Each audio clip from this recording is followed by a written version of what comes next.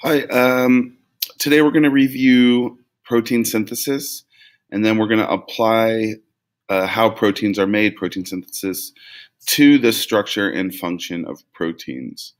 So, first step, fill in your information. Um, now, as a review, remember making making DNA start or making proteins starts with DNA. Um, that happens in the nucleus. Then the DNA is transcribed into RNA. The RNA leaves the nucleus, finds a ribosome, and then the ribosome reads the RNA, and those are directions to putting the amino acids together, which form a protein.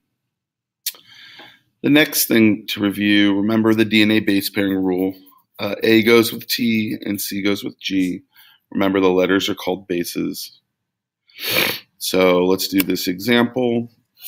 So if the DNA was T, G, C, G, A, C, G, T, C, whenever you have the T, a T in the first DNA, the complement complementary pair is an A, then C goes with G, and so on and so forth.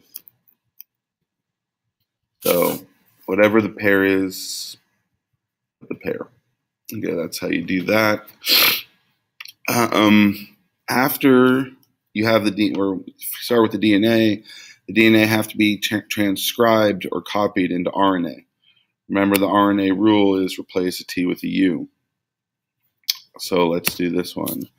So the G's and C's, they all stay the same, or they pair the same. G goes with C, G goes with C.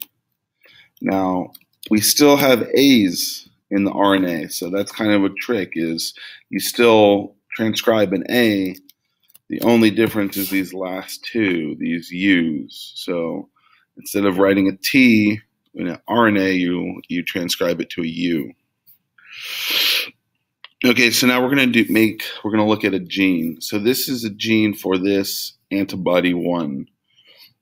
So a gene is a length of DNA that codes for a protein. So this gene is a code for making this protein. so you have the the DNA up here.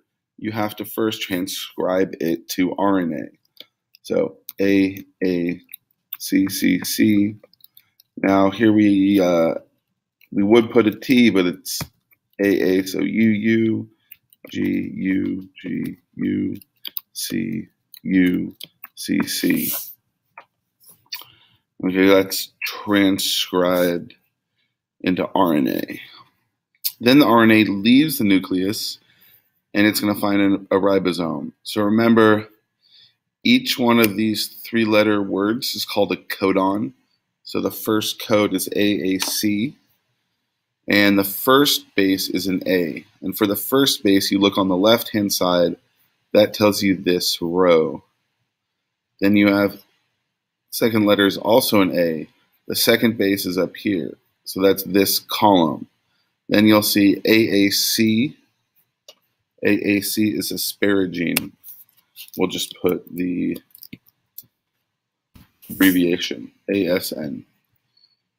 So AAC, the next one is CCU. So the first base is on the left. Second base is here. On the top, CCU is pro. So that was CCU. Next one is UGU. Uh, U is the first base, it's on the top. G is the second base, or U is the first base on the left. G is on the top. So the place where they intersect is this box, UGU, is cysteine or CYS. So that was the last one. Now we have GUC. GUC. First base is a G, that's on the left, so it's the bottom row. U is this column, and then GUC, you see, is valine.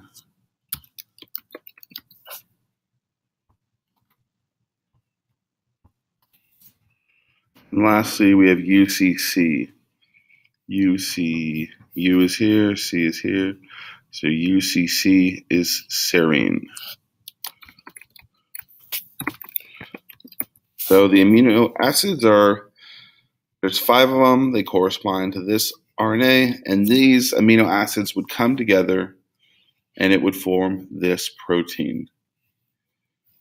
Now, here's a different antibody. This antibody is a different shape and has a different code. So do this one as practice and then answer the questions below. That is it. Thank you for listening.